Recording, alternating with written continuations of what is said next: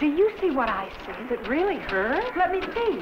What, may I ask, is going on? It's Vicky Dugan, the famous movie star. She's squeezing new Charmin bathroom tissue, Mr. Whipple. Please don't squeeze the Charmin.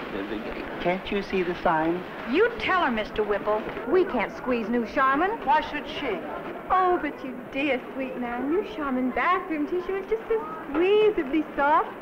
I just couldn't resist squeezing it. But the sign.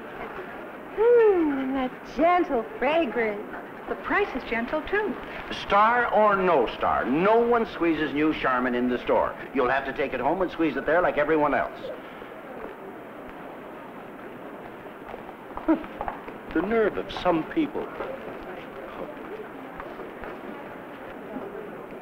Mr. Whipple! New squeezably soft Charmin bathroom tissue from Procter & Gamble.